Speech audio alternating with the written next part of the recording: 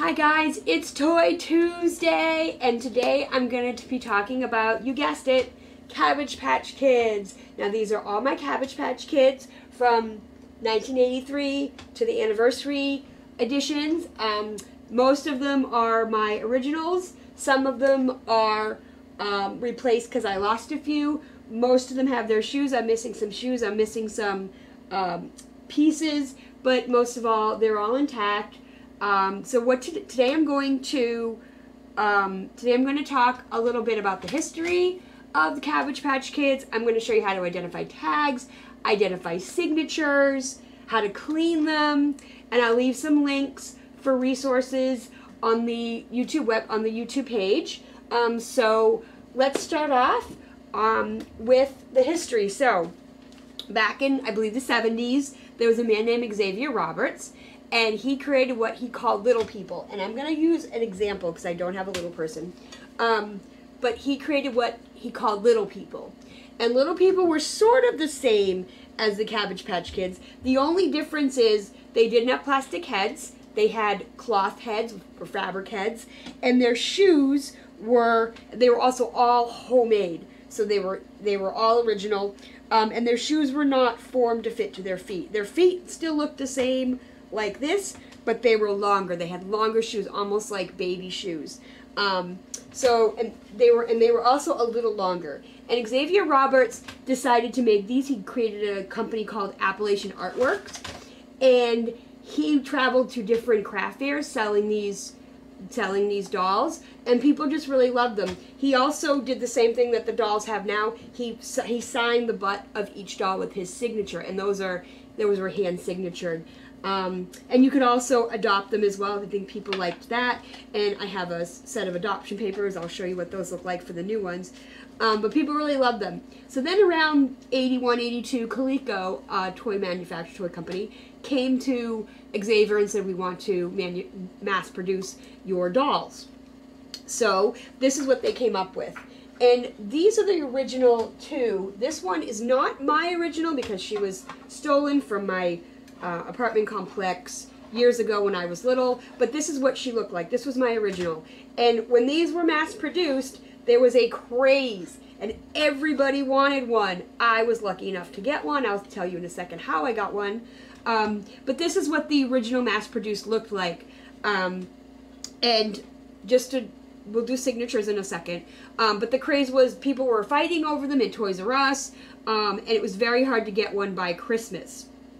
So, what happened was because they were such they were so hard to get, they contracted out with different factories to make them because there was such demand. So, when you identify a Cabbage Patch Kid, serious collectors what they'll do and I'll I'll use Harry here because Harry she has little booties. So Harry here, his shoes, now the doll will actually come and I'll take him off the stand. So the doll will actually come with a tag on its body. Let's see if Harry still has this tag. And the tag, and let me see, I can't see. Um, so the tag will have his factory on it. You can use a magnifying glass. This is a this is really old. This was actually my first. Um, and I'll show you the tag where the tag is. It's on the side of the body. So this was my original first doll. This was the original, but she's not my original because like I said she was stolen. So this is the tag. And the tags will have a, a code on it. It'll at least either say KT or OK. So what you want to do if you're a real serious collector is you want to match the body tag with the clothes and the shoes because that means it came from the same factory. So if I can see, the, the tag will also be, the signature will also be inside the shoe. And this one says, and I can't read it because of the light, I believe this is KT. I need I need a magnifying glass. But I believe, well, let's pretend this says KT. So this is going to say KT on the inside of the shoe. Inside, the, there's a little circle around it. So you'll be able to see that. And then you'll also be able to see um, on the clothes, there's also, there should be some tags on the clothes that'll say KT as well. Um, and then you can just match up uh, your doll to the factory. So that's how you identify factory codes. So also, I'm going to keep this stand up here. So also, back in 84, 83 and 84, these original dolls came with they did not have strings. And this is stuck to his arm. I don't know. That's actually you should not do that. Maybe I shouldn't do that. Um, ooh, that didn't work very well. So originally, the two years, the dolls came with rubber bands. So the way you can tell if your doll is original from 83 or 84, and the tag will have a rubber band rather than a white string, which all the rest of these come with. Um, also, identifying tags. Now, in 83 and 84, obviously they all came with tags. And I actually, I'm going to show you. So these are the original tags. Now, the tags all had a legend on the back. When Coleco uh, or or created these, they all had a legend, and it was made up, and it was about a boy who found this cabbage patch, and the, these babies, and they didn't have families, so he adopted them. That's pretty much the legend of the cabbage patch. It's a little, um, we'll save time, um, but yeah, that's the that's the legend. So that was 83 and 84. I got my doll, my original. She was got I got her at Christmas time. Um, and I got her because a neighbor of mine had, I'm sorry, a friend of mine had a neighbor who worked at the old Caldor department store. And they got a shipment the day before Christmas, and the neighbor called the friend of ours and said, Does Amy want one? I was five at the time. So they were like, Does Amy want one? And my mom's like, Yeah. So that's how I got my Cabbage Patch Kid. A lot of other kids got their Cabbage Patch Kids by their parents beating each other up, or a friend of mine, Kelly, got hers. Um, she's my friend on Facebook. She got hers during the summer. Um, they bought one down in Martha's Vineyard during the summer. So there were different ways, but not a lot of kids got them the first year. I was just lucky enough. So the tags. So then we'll get we'll take Paul here. Paul is from 85. His glasses his glasses are broken. But in eight, 1985, they still had the same hands. So, see, you can tell the different hands. The hands are a little different. He might be from a different factory. So Paul's Paul's glasses fell off, didn't it? so Paul, in 85, they started making them with different different accessories. They weren't just the plain Cabbage Patch Kids. They were different accessories. So Paul here came with glasses, um, which I left on the bus. I had to buy them again. Um, but they were still they still had the regular hands. Now they all what they also did in '85 after after the originals were they um I'll take an example. I have two examples here. So they actually increased the size of the tag.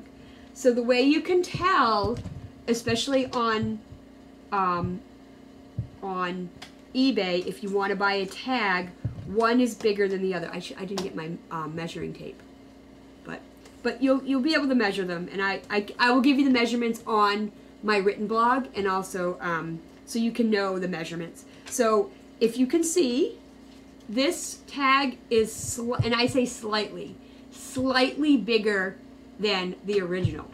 So this is about two by three inches, and then this is about two by two. So they increased it by an inch.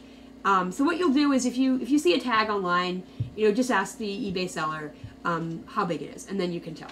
So that's a good way of telling um, how big it is. So this is Paul. Paul had glasses, which I think fell off again.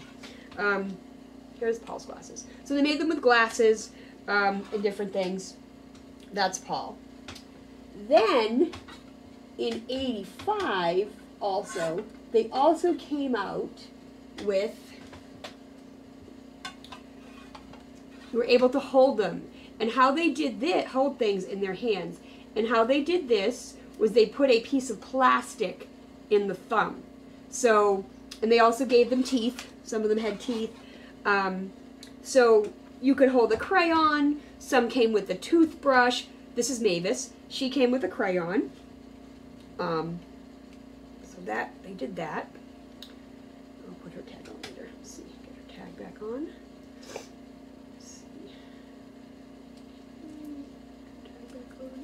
Some of these strings are stretched out, so it's hard. They will fall off. Um, so that's Mavis. So that wasn't enough. So then in 85 again, they also created Koosas. Now Koosas, I don't know the story of the Koosas, but they, apparently they were animals. They were Cabbage Patch Kids, but they look like animals. And Koosas you could still adopt, but what you did was you actually, instead of because all the Cabbage Patch Kids from the originals on up all came with identifying names and a birthday, and all of their birthdays started on the first of the month. So she could have been born born November first, December first, um, but they all came with original names. The other thing too I want to mention is you cannot identify like a I don't know like Barbie. Mattel creates a Barbie with a specific outfit and look, and they manufacture that Barbie and they sell that Barbie, they market that Barbie, but Cabbage Patch Kids didn't do that. So they picked about five or six outfits and five or six head mold, two two head molds, and different hair, and they mixed them up. So you're not going to find a specific, and they all had different names. So you're not going to find specific dolls. So you're going to have to kind of just take your doll as she is, unless she's in the box. Um, but but the difference with the Koosas though was you can actually name the Koosa. So I lost the tag, but this guy's this guy has a different name because I bought this tag on eBay. But this guy was named Kooky. I don't know why, but I named him Kooky. So that's that's the Koosas. Um, so then in '86, or still in '85, 88, excuse me, '85, they came up with the All Stars. Now, the All Stars only had a few teams. There was the Red Sox. I think there was the Orioles, uh, the Yankees. This is an All Star. Now, an All Star is has a lot of pieces. I'm still missing a few. Um, this is not his card, but this is a different team. This is the, um, I believe this is the, this is the Atlanta Braves. So he came with a baseball card. This is what the card would look like. Obviously a tag. He came with his hat, and he also came with a pennant, um, which is very, very hard to find. He also had the plastic in his finger so he could hold his pennant. Now I will show you. This is his. This is how the original, um, the original uh, adoption papers came, and I'll just show you an example of how. So, um, this is his. These are some advertisements which I keep in, and the certificate would be like this. So this would be the certificate. Avery Jonah, that's the certificate's name. But this guy's name was Tommy. Um, so this was this is how the adoption, adoption went. And you would fill this out. You'd fill this out. They also had footprints on the back. And he was born, well, supposedly, he was born on September 1st. So you'd fill this out, and then you would send it to Babyland General in this, this envelope. And it would give you instructions on the back. And it would go to Georgia at the Babyland General, and they would process it. And then they would send you a certificate they would send you a birth certificate, and it would look like this. This would be it. And you would get this in the mail. And you also, if you don't know, if you don't remember, um, you would also get a birthday card every, once a year for their birthday. So uh, if he was born on September 1st, the next year on September 1st, you'd actually get a birthday card for your doll with his name on it. So that was the that was the All Stars. Then people kind of got sick of the yarn hair. It was hard to work with. You couldn't brush it like a Barbie. So then they came out with the Corn Silk Kid. And this is not my original. This was bought online because my original was in a bag that was lost. Um, so this is the Corn Silk Kid. And she also had the plastic in her thumb.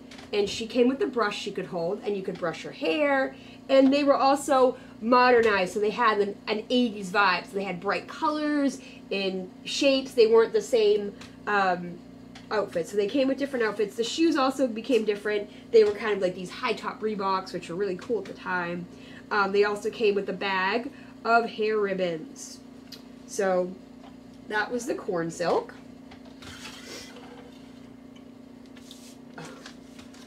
So that was hers. So then that was 1986. Then they came out with what everybody was doing at the time, which was talking dolls. And this is a talking doll. This is a Cabbage Patch Kid talking doll. I do not remember her name. But I believe I got her Christmas of 87. She does not talk anymore. I cannot have find a place to fix her. I'd like to eventually fix her. But she talks. And she came with a cup that she doesn't have the the same hands she does for some reason. They did not make the hands like um, that she could.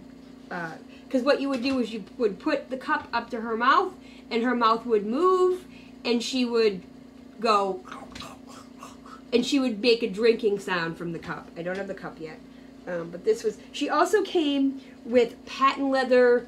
I don't know if they're real patent leather, but patent leather shoes that she could wear, and they're pretty hard to find. So I'm trying to find those too as well. So that is the talking kid. I wish I could make her talk, but she is not working. Then, in the late, probably 80, 87 again, I think. So then they came up with different outfits. They tried to make the original again. And if you notice, the um, the All Stars, the Corn Silk, they all had, they came with tongues. They had this like tongue thing that came out of the side. So this is 87. And this is toward the end of the agreement with Coleco, and I'll tell you that in a second because it'll, it'll end in a year or two. But Coleco wanted to go back to the original dolls. Um, so they made new outfits for the dolls, and they were they tried to go back to the originals as much as possible. So this is Margaret, and she's not really very special. She's just a doll with the dress and shoes, and she doesn't come with anything to hold. She doesn't come with anything to hold. She was just the plain doll. So that's Margaret. Then in 1987, they came up with this. This is a toddler. And a toddler is probably half the size of a Cabbage Patch Kid. Now, they did have 14 inch dolls back in the day. They were called preemies. Whoops, there she goes. Preemies did not, preemies were half the size, but they were they came either completely bald and they came in a blanket or a baby, kind of a baby uh, outfit, or they had a little tuft of hair. So those were supposed to be preemies. These were supposed to be right below the age of the Cabbage Patch Kid, so maybe two years old or three years old. Um, so this is a this is a um, a toddler, and I haven't mentioned the colors yet uh, yet. So the colors go. Um, so the colors go. 84 would be green, and there's a there's a. I'll send you a link. I'll put you, I'll put a link on my website and on the YouTube page where um, I'll lay I'll name all the colors. But uh, the colors are green, blue, aqua, black, um, and I'll, I'll reference that if you want to check that out. Um, the signatures are on their butts, so I will. Um, butt here, here we'll, we'll do that. So, so her butt signature, and she comes with an original diaper. So her butt signature is lavender. Now something strange. So this was a little strange because every year Coleco and Appalachian Artworks would put out a new doll um, with something different. This is the only Cabbage Patch Kid that I know of that lasted for three years. and the reason is, is because these came out in 87. They continue to come out in 88, and the ones in 88 have a different signature. I'd have a different color on their signature. Um, so, and I will show the signature right now. And her signature is lavender. And it some of them also have the year. Some of them don't. Um, so in the beginning, I don't believe they had the year, and then starting in 85, they started putting the year on the signature for a little easier identity. Um, but, so she has a lavender signature. And um, so what happened was they made these toddlers in 87. They continued to make them in 88. Then in 89, Hasbro came out, came, uh, took over for Appalachian Artworks, sold them, sold, Coleco sold to Hasbro. So you're going to find these with three different years. You're going to find 87, 88, and 89. Um, so you're going to have to kind of look at the signature on the back um, to figure out what where these came from because some of them are Coleco and some of them are Hasbro. Now let me go over the colors again. We can go over the colors. So it's green is 84. Cheat sheet here. So green is 84. Then it goes blue is 85. Uh, 86, I don't know, but I'll put a reference up. Aqua was 87. 88 was lavender, which is the toddlers. So those are the colors. Um, so you can also, um, see. So then that was pretty much, this is the last one I ever bought. Uh, because I was older then. I was almost 12 years old, and I was getting out of my Cabbage Patch stage. And I did love them, but they weren't the same after this. Um, they kind of went to a more plastic, like a smaller head. Uh, they didn't look like the originals. This is the most original you're going to get. Um, so then, years later, they came out with some anniversary editions. So, and some of them looked similar to the originals, and some of them didn't. So the closest ones that I think that come to the originals is this one. This is a this is a 15th anniversary Cabbage Patch Kid, and her tag will say 15 on there. This is as probably as close to the original. Her now I also forgot to mention when you got the Cabbage Patch Kid, it also smelled like baby powder. So when this came in the box for Christmas when I was in college in 1998, she smelled like baby powder. The only thing that makes this different and not authentic like the originals are her shoes. Her shoes are very shiny plastic, which if you can see, this plastic is not shiny at all. It's very rough. Um, it's got like almost like a texture to it, and it doesn't have the stripes. Um, so that's the only problem I have with the 15th anniversary. But she still was great because she really did like look like the original. They really kept the original face, the original hair, um, the original design of the doll. Then this is the 25th anniversary of the Cabbage Patch Kid. And this is probably, next to the, the 15th, this is the most authentic because they really did a great job with this because these are the original faces, the original hair. The, the tag is doubled, so it does, these were made by Jakks, uh, Jakks Pacific, which is another toy company. Um, and these shoes are so original. These look like the original these actually more like a preemie shoe, but this looks like the original shoe that they that they came um, they came with, and they were really good. She also came because it was the 25th anniversary. She came with a silver spoon. Um, so those are the Cabbage Patch Kids. Now I'm going to explain how I clean them, how to care for them. Um, so what I do, especially because some of these are just so old, um, they've they've got stains on them. They really were played with really well. So what I do um, what you want to do and you're seeing some they do get stains on them even if you don't play with them they're they're old and they will get some stains because of the fabric so what you want to do is you want to just spray them with the fabric cleaner and you want to just throw them in the wash and just spray it and kind of at the spot also for their faces a lot of them had like marks on them you know you you drew on them or you you know put makeup on them. So what you want to use i love magic erasers. Magic erasers by mr clean are great. Those are great for cleaning the faces. So that's why all my cabbage look patch looks so cabbage patch kids look so clean. Um, you also want to and i i do this because just to uh, i would use these avery um, or staples brand folders these plastic folders. These keep your certificates um, really nicely crisp. They also protect them. They should. They're I believe they're acid free. Um, so you want to keep your certificates in here. Um, sometimes also the tags get kind of bent. Um, you could probably find like a little baggie to put them in, like a little plastic bag to put them in. But this is what I keep um, all of my certificates in. Um, uh, also, if you want more references, there's a great um, these are some great books if you're looking for different outfits uh, to match your Cabbage Patch Kids. This is the 1980s version, and this is by Jan Lindenberger. And this is this is a great reference for uh, Cabbage Patch Kids. These are it has all the original outfits in it. Um, you can see here. I'll show you some. So, so let's go back. So yeah, so 83 to 85. These are some of the original outfits. Um, and then she also made, you get a good shot of that. So then she also made one for 1990s and collectibles. These are all collectibles. Um, it'll show you all the puzzles. It'll all show puzzles and things. There is another 1990s book by Jan Lindenberger. Um, I could not find that. is in my basement. I could not find that yesterday. But it's it's the same book. It's the same book, just a different edition, and it's by Jan Lindenberger. And I will put her name on my blog if you want to, um, if you don't remember that. So this is all the furniture, I believe, and all the, the different ta uh, tags. Um, this is a great reference as well. And this is, um, this is called Cabbage Patch Kid Collectibles. So that's that. Um, so that's the end. And if you want to subscribe to my blog, go ahead. I would really appreciate it.